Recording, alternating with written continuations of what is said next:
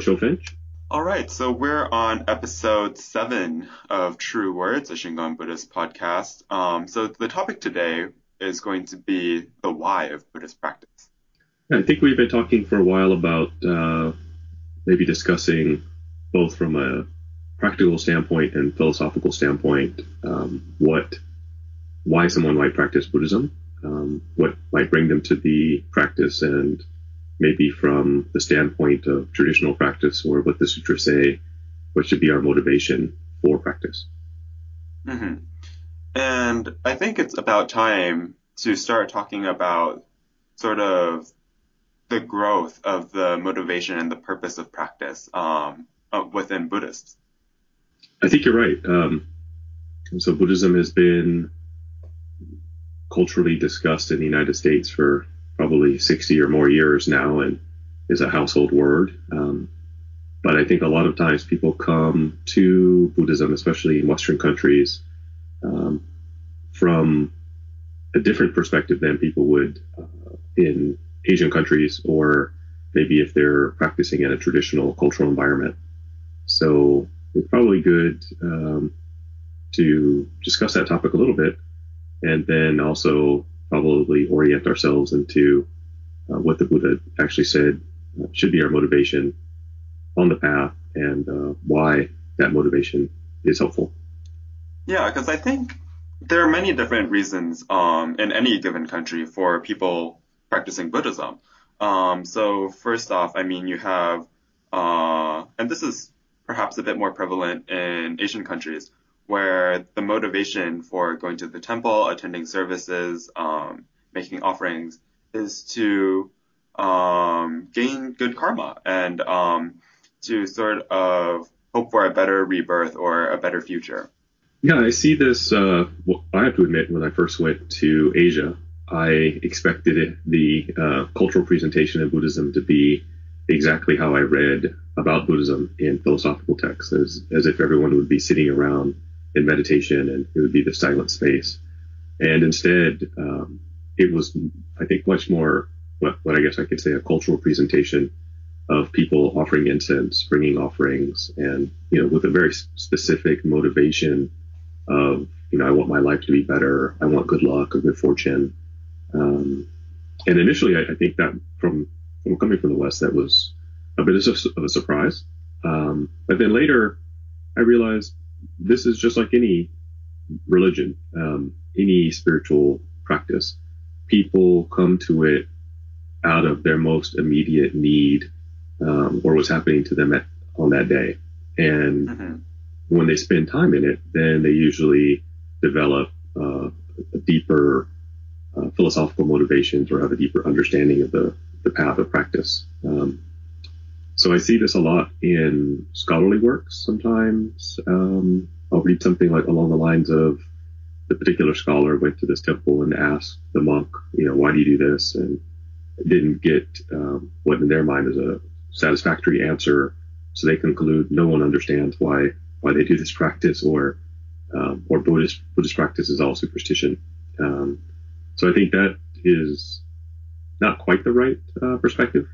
Um, but in, I guess, a traditional sense, you see a lot of different motivations for people coming to the temple, not just, uh, I want to be a, a, great meditator, or something like that. Mm-hmm, mm-hmm. Yeah. And it's very interesting how sort of these practices evolve. For example, I know in Singapore, there's a temple that does an annual student blessing um, right mm-hmm. before finals week.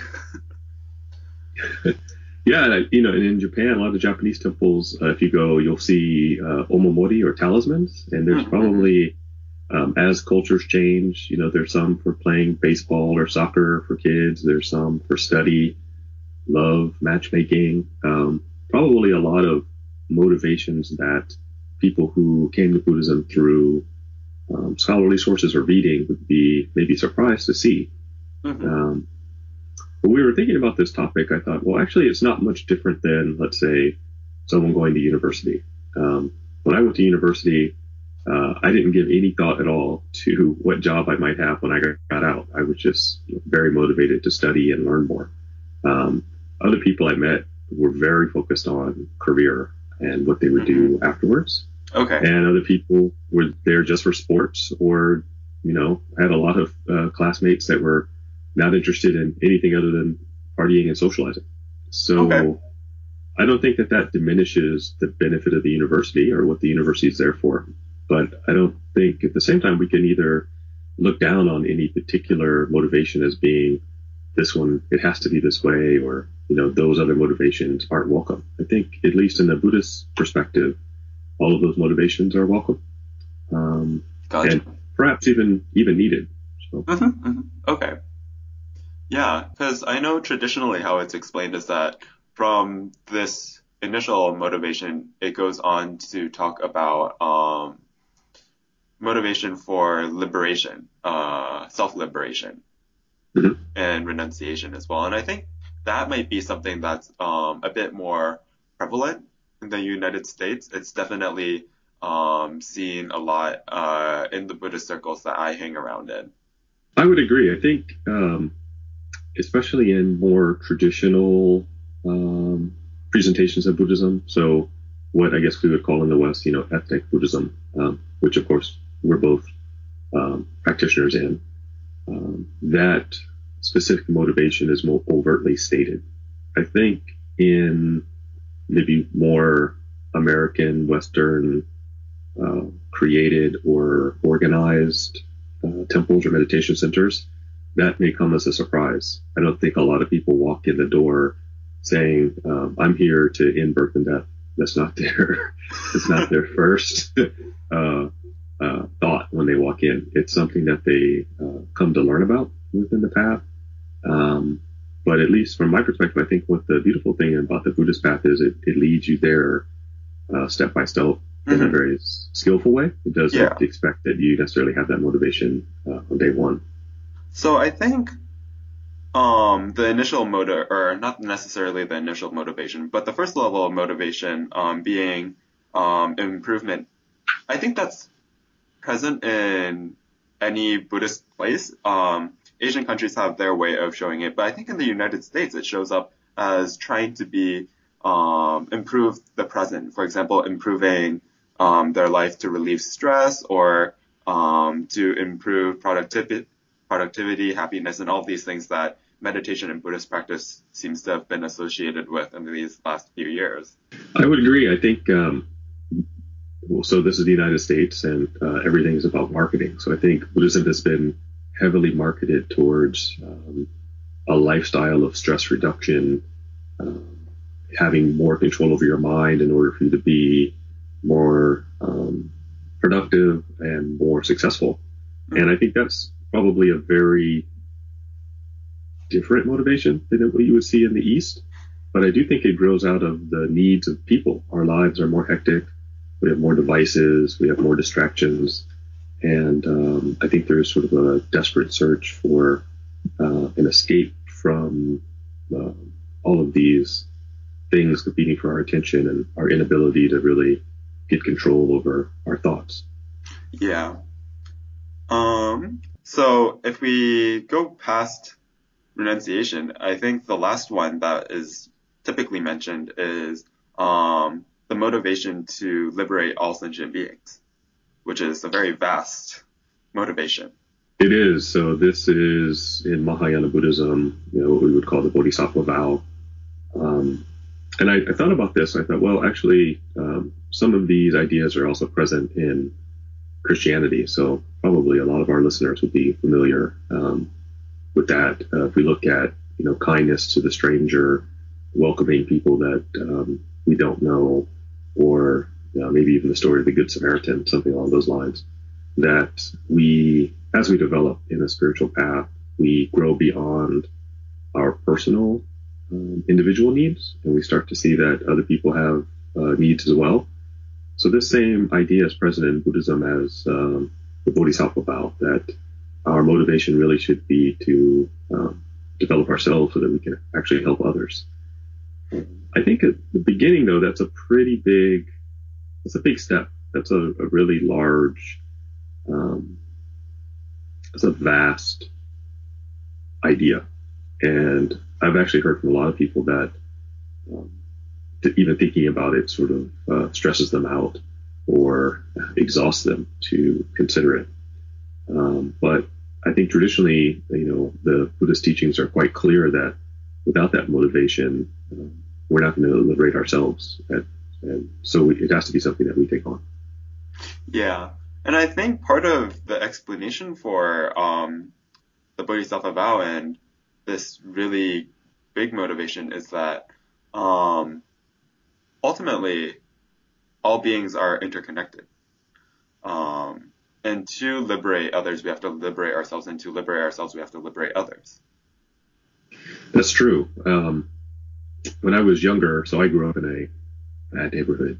Um, so when I was younger, I remember uh, you know, oftentimes no, there was crime, and it was quite prevalent. And then, you know, something you owned would be stolen, or your house would be broken into, or something along these lines. And I recall um, being young and thinking I would prefer that this not happen, and then prefer that it not happen again.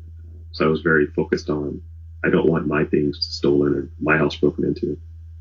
And then the state government at that time had uh, very suddenly cut a lot of social benefits. And I recall it was over you know, the course of a weekend, people felt very desperate. And there was a huge spike in crime uh, that summer because of this feeling of desperation um, and need. And it became quite evident to me that, um, you know, the only way that I was going to feel secure, the only way that I was going to get, uh, in a very mundane sense, what I wanted, which was to not have my things stolen, was if everybody felt secure.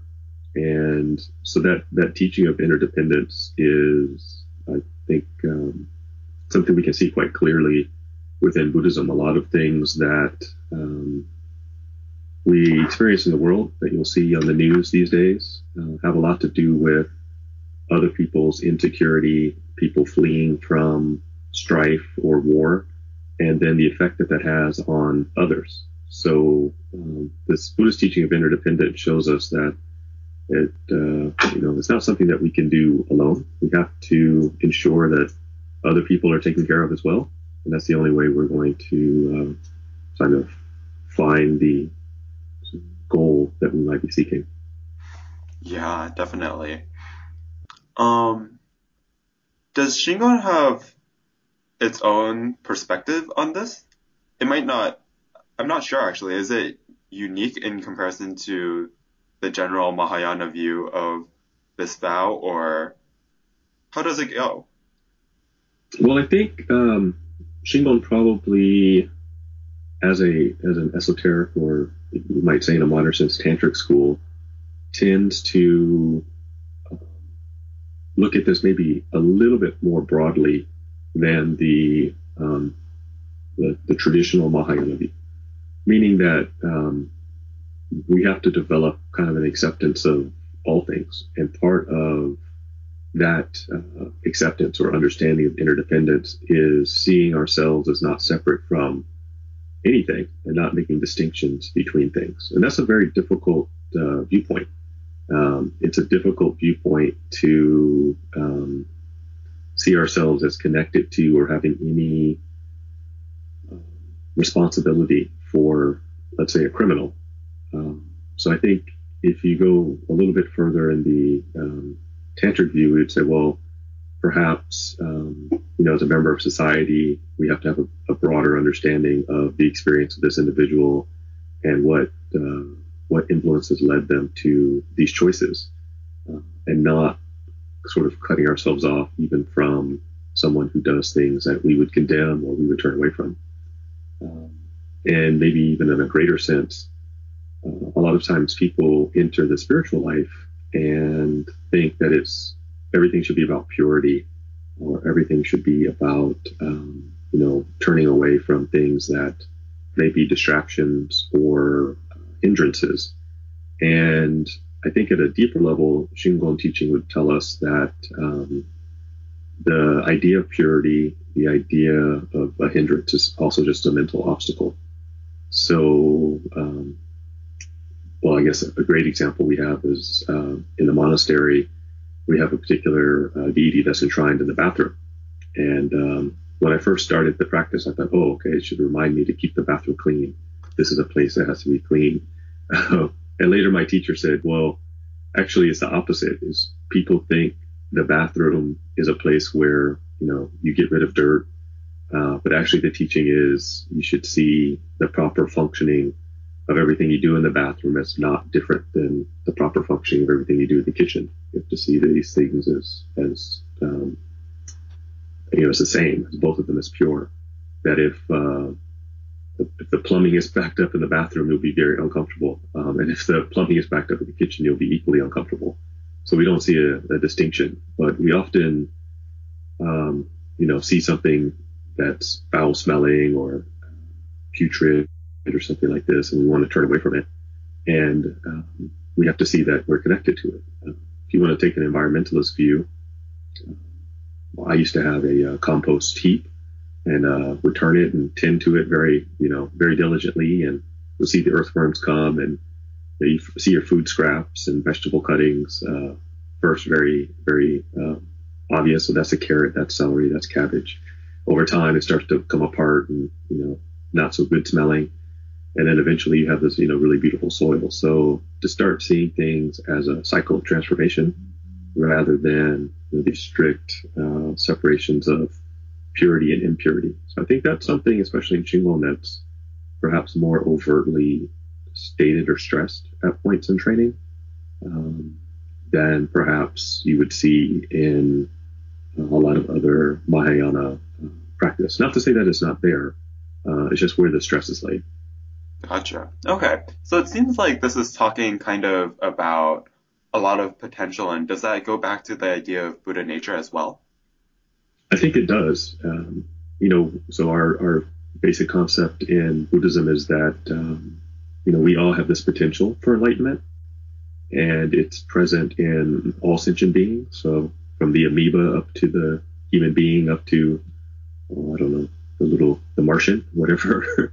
um, and because of that, uh, we're all connected. We're all connected by that potential. So we have compassion for other beings, and we see ourselves as connected to to other beings. We don't um, see a distinction or see that um, humanity as somehow more important than you know birds or fish or anything uh, of that nature. So when we start to really open up that view, then we can see our practice as connected to uh, other forms of life.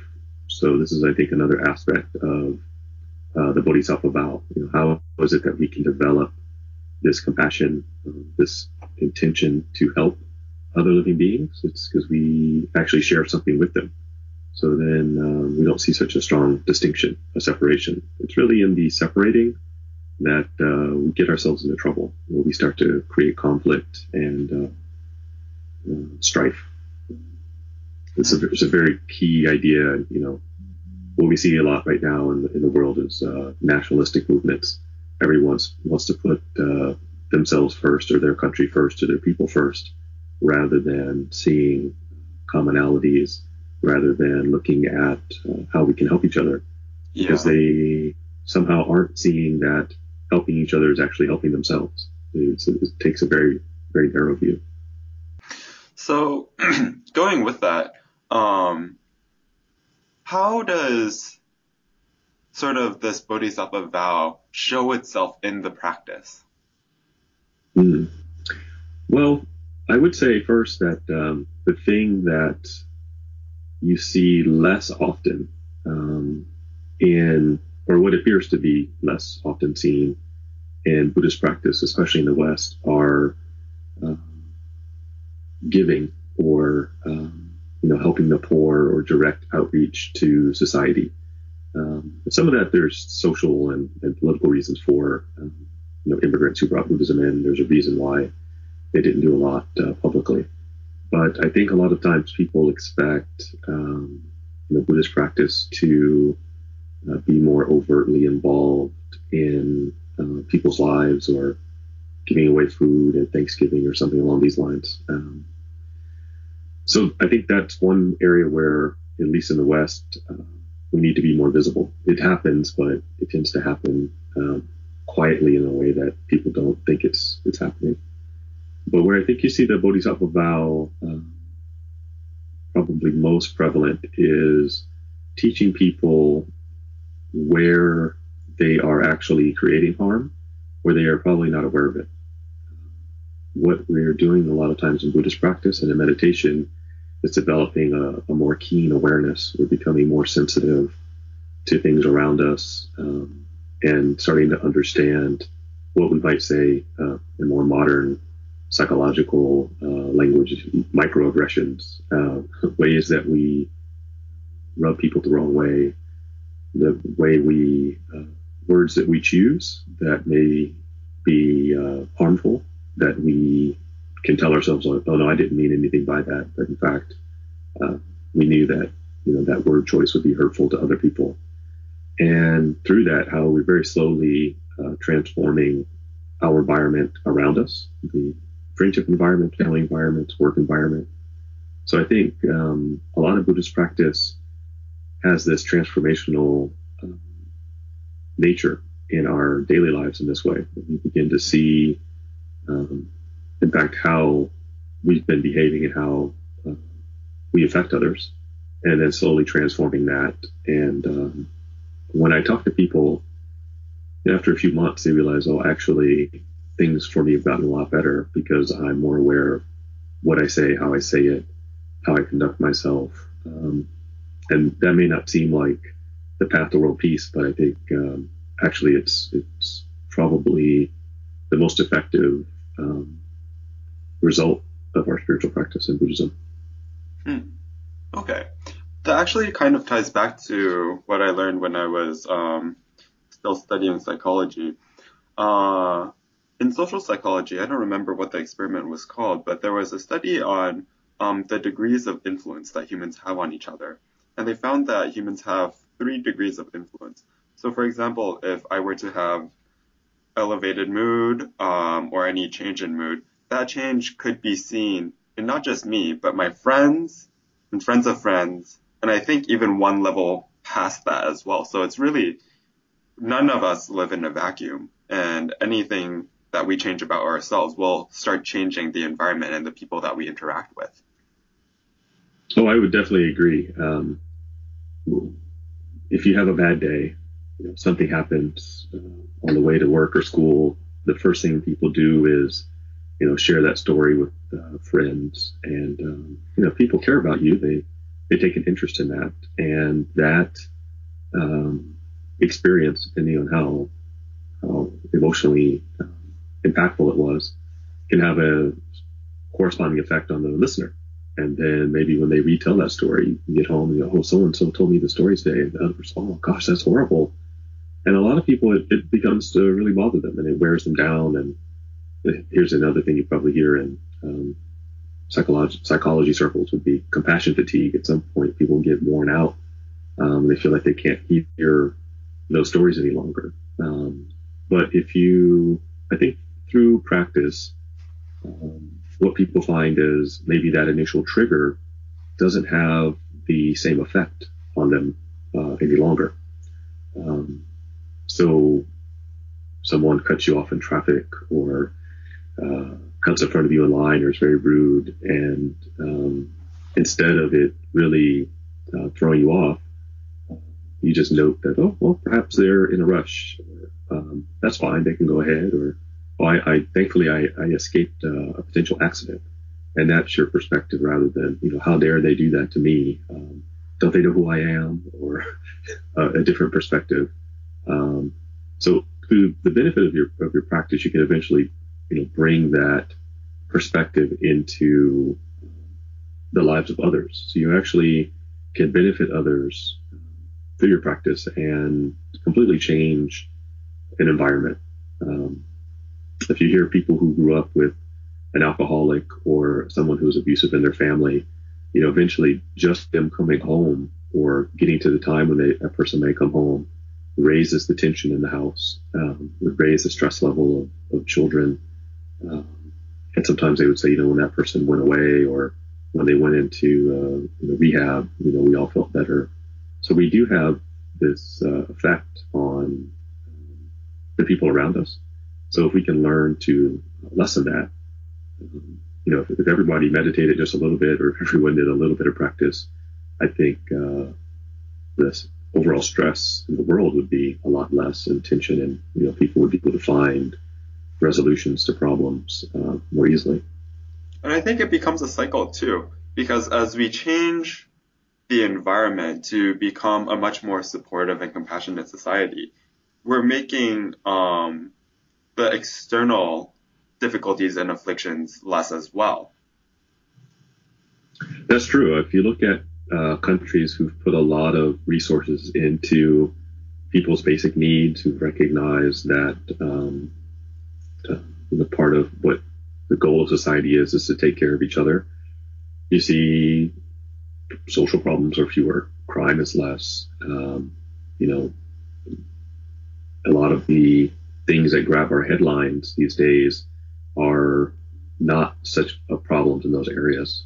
Um, but where we, you know, draw strict distinctions and point fingers and point out the differences between each other, uh, those issues become uh, greater and greater. So I think you could really definitely base uh, a great deal of social change and see a shift if um, you know people work together. You, you, can see that in the world. Um, you know, after World War II, I think there was an effort to, especially in Europe, try to start seeing each other as Europeans, um, which led to the European Union. Um, let's look at our similarities rather than our differences. And, um, you know, you haven't had a, a, continental wide war since that point. So there's some benefits there. Um, so I think it, it is something that can be done.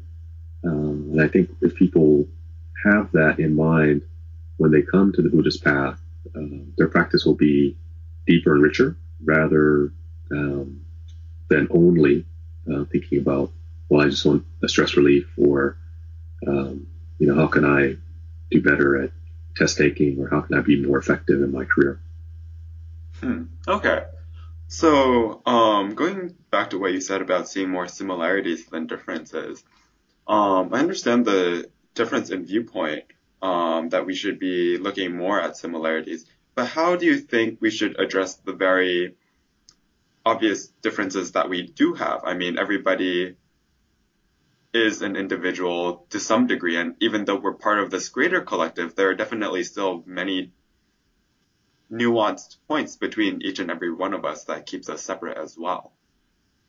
Well, I agree. Um, I think the, the key would be uh, we need to point out and celebrate rather than uh, point out for the purpose of dividing um, or for ordering one as more important than the other.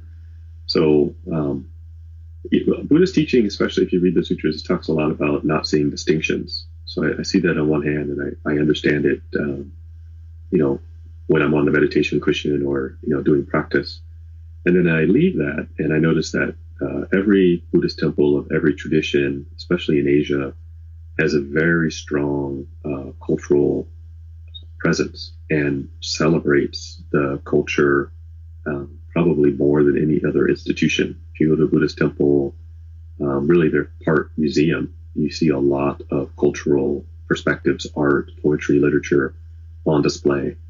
Uh, so I realized, well, at the same time, you can see the differences and celebrate them, but that not be an obstacle to practice. And I think um, you even see this in the Buddhist sutras. The, the Buddha points out certain uh, students and um, you know says you know they have this particular merit, virtue, uh, these attributes, and that's something that uh, we should applaud them for. So I think the proper way is um, you know to see those distinctions and and celebrate it. You know, let's say we have here in the United States, you know, a vast um, number of people, immigrant groups, people from all different backgrounds.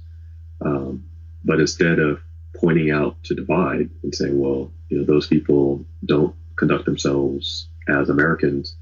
We go out and learn about their culture and, you know, celebrate with them. Oh, you know, this people have a festival and they do this and let's go and celebrate with them or learn about that. Um, I think that's probably the proper way. And again, we go back to practice and seeing how our, our words actually uh, operate to harm or heal uh, I think a lot can come out of that. Uh, you know, looking at our motivations for the words we use, the words we choose not to use. Uh, it can actually be something that that helps us rather than puts up obstacles. Hmm. Awesome. Okay. So it seems like we're almost out of time for today's talk. Um, is there anything else that you wanted to mention? Uh, I think when you brought up um, the interdependence as an idea in Buddhism, I think that's something that um, we have to keep in mind. I think in the West, um, a lot of Buddhist centers tend to align themselves with one particular uh, political viewpoint. And I would say that, um, you know, our practice needs to be open, uh, both literally, you know, open doors to all backgrounds and political viewpoints, but also um, mentally keeping in mind uh, an openness towards all viewpoints. People that we disagree with um, are something that we need to invite into our practice, that we need to uh, learn more about and uh, find compassion for, because we're not separate from them. They're they're not separate from our world or our, our reality. So um, we can't exclude them from our practice or our conversation. We have to uh, invite them in. So I think that would be um, just as as the world is today, uh, something that we should keep in mind. That's some very difficult homework that you're assigning us. it is hard, and um, it is hard uh, for all of us, but it's, it's something that we have to, to keep in mind. I think um, we have a lot of things to think about in that realm uh, today. If people listen to this podcast and then um, you know turn the radio on, they're going to hear something that probably distresses them. So um, it's something that we have to keep in mind is not seeing our practice separate from the world. All right. Thank you. Thank you.